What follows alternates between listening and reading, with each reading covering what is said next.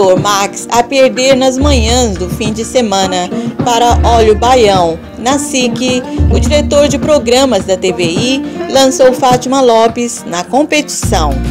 Este é um sábado diferente nas manhãs da TVI.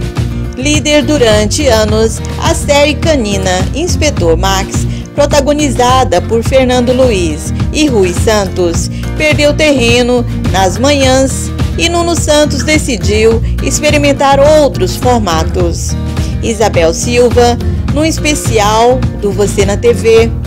E logo a seguir, o regresso de Fátima Lopes no Conta-me Como És, que antecipa o Jornal da Uma.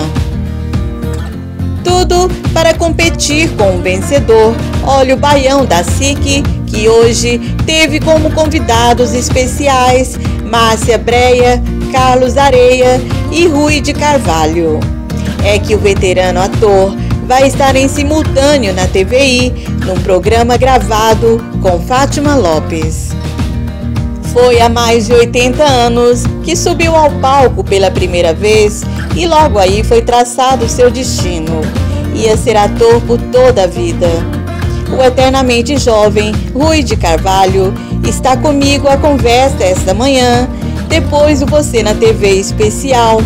Escreveu na manhã deste sábado Fátima Lopes no perfil de Instagram.